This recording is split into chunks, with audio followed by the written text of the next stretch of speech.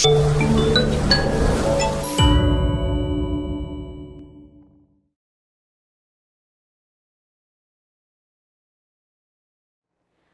gente, tudo bem com vocês? Espero que sim, né? Vamos dar continuidade aos nossos estudos, agora com conteúdo de números primos e números compostos. Então, na aula passada, aprendemos como é, encontrar os múltiplos e os divisores de qualquer número natural. Como vocês já sabem encontrar os divisores, agora vamos aprender o que é um número primo e um número composto. Observe nessa tabela aqui que eu coloquei todos os divisores de alguns números naturais. Quais são os divisores do numeral 2? O 1 e o 2. Eles são os únicos divisores do 2. Do numeral 3, o 1 e o 3. Do numeral 4, 1, 2 e 4. Do numeral 5, 1 e 5. Os divisores do numeral 6, 1, 2, 3 e 6. Do 7, 1 e 7. Do 8, 1, 2, 4 e 8. E do 9, 1, 3 e 9. Note que alguns desses números naturais possuem apenas dois divisores, o 1 e o próprio número. Já outros números, tem no, é, dos números naturais, possuem mais de dois divisores. Então, chamamos de número primo aquele número que só tem dois divisores, o 1 e ele mesmo, e o próprio número. Então, toda vez que um número só tiver o 1 e ele mesmo como divisor, ele é chamado de número primo, certo? Então, nesse quadro aqui que eu coloquei, quais são os números primos? O 2, o 3, o 5 e o 7, não é isso? Então, esses são os números primos. Agora, quando o número natural ele possui mais de dois divisores, dizemos que ele é um número composto. Se ele não é primo, ele é composto, certo? Então, qual, qual dos números aqui anteriormente que eu coloquei é composto. O 4, que tem três divisores. O 6, não é isso? Que tem quatro divisores. O 8 também tem quatro divisores. E o 9, que tem três divisores. Então, todos esses números, eles são compostos, eles não são primos. Agora, professora, e o número 1? O número 1, ele é uma exceção da regra. Ele não é nem primo e nem é composto. Porque para ser primo ele tem que ter dois divisores, o 1 e ele mesmo. Só que o 1 ele é divisível por ele mesmo e por 1, só que não são dois divisores, são só um, não é isso? Então o 1 ele não é nem primo nem composto, tá bom? Agora vamos aprender como é que faz a decomposição de um número natural em fatores primos. E professora, eu não entendi nada. então, a gente pega um número e vai decompor ele, ou seja, fazer com que ele seja uma multiplicação de números primos. Observe aqui nesse exemplo que eu coloquei, o número 30. O número 30, ele pode ser representado da forma 2 vezes 3 vezes 5.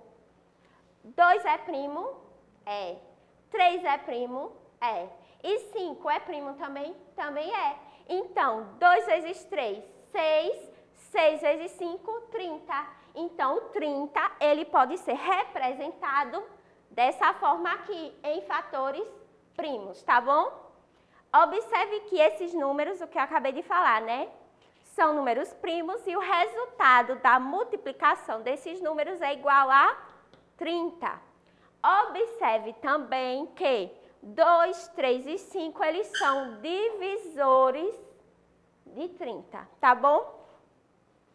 Agora, vamos decompor em fatores primos o número 84. Eu vou passar para aqui e vou fazer a decomposição tradicional. Foque aqui, por favor.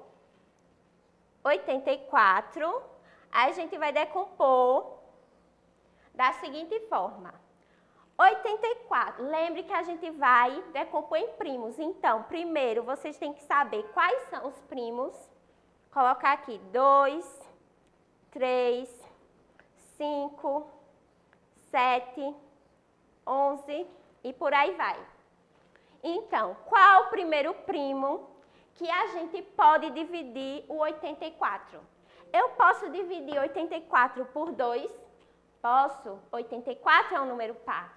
Então, 84 dividido por 2 dá 42, certo?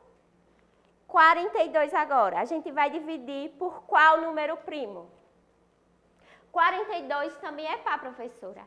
Então, 42 eu posso dividir por 2 também. Então, vou dividir o 42 por 2 novamente. 42 dividido por 2, que vai dar 21. 21, professora, eu posso dividir por 2 de novo? Não. 21, ele não é um número par. Então, se ele não é um número par, ele não pode ser divisível por 2.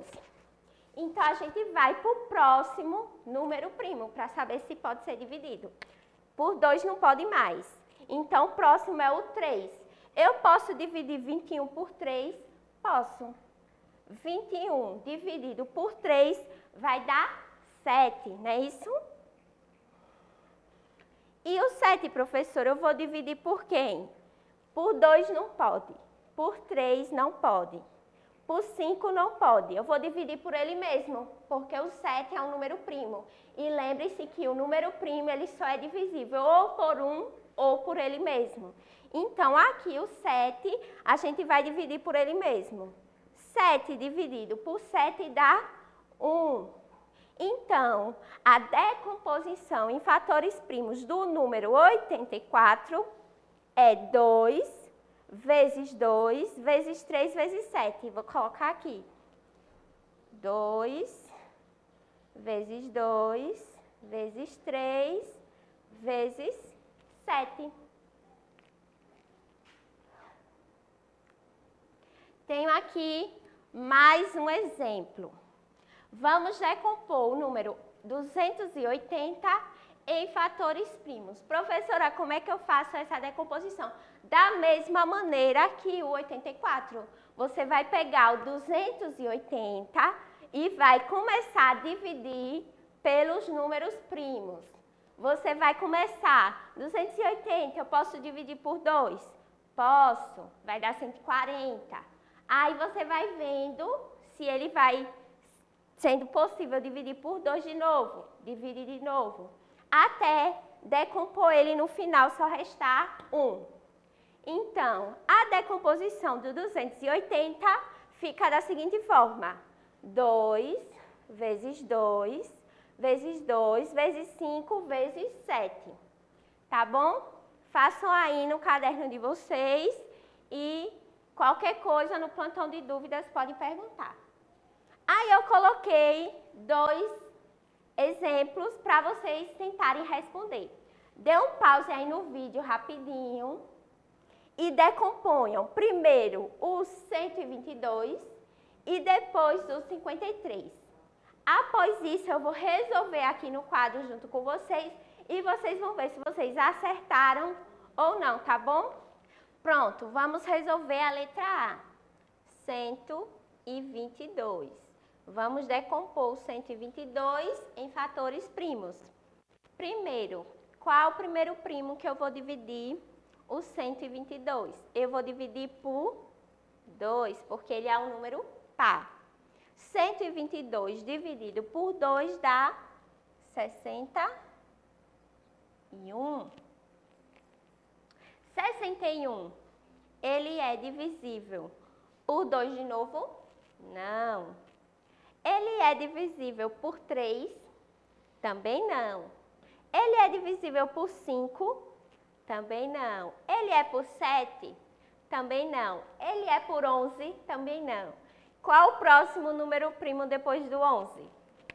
É o 13. 61 ele é divisível por 13? Também não. Qual o próximo primo? 17. Será que 61 é divisível por 17? Vamos fazer aqui a divisão.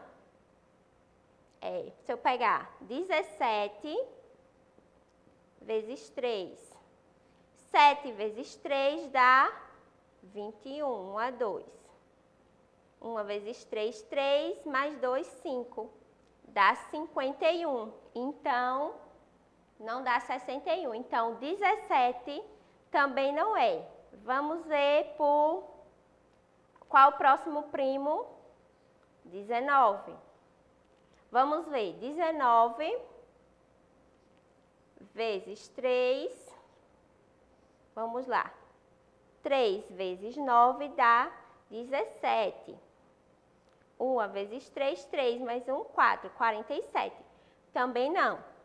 Então, o 61, vocês vão é, colocando até perceber que o 61, ele vai ser um número primo. Então, se ele é primo, ele só é divisível por 1 ou por ele mesmo.